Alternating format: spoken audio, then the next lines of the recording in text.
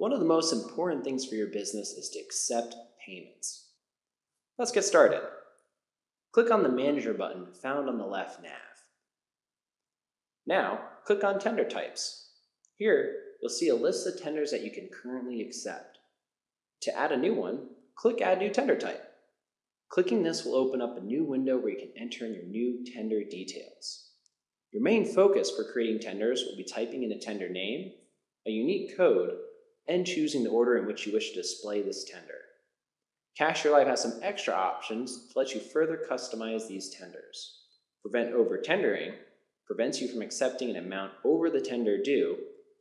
Pops Cash Drawer, which will automatically pop your cash drawer after the transaction. Signature required will print out two copies of the receipt with the signature line. Allow multiple entries allows you to accept multiple forms of the same tender and support cashback which will show that you can take cash back on this tender. Once you're done adding all your details, click on the Add New Tender Type at the top right of the screen. You can always come back and edit tenders by clicking the pencil icon found next to the tender name, or just contact your friendly Cashier Live support team for help.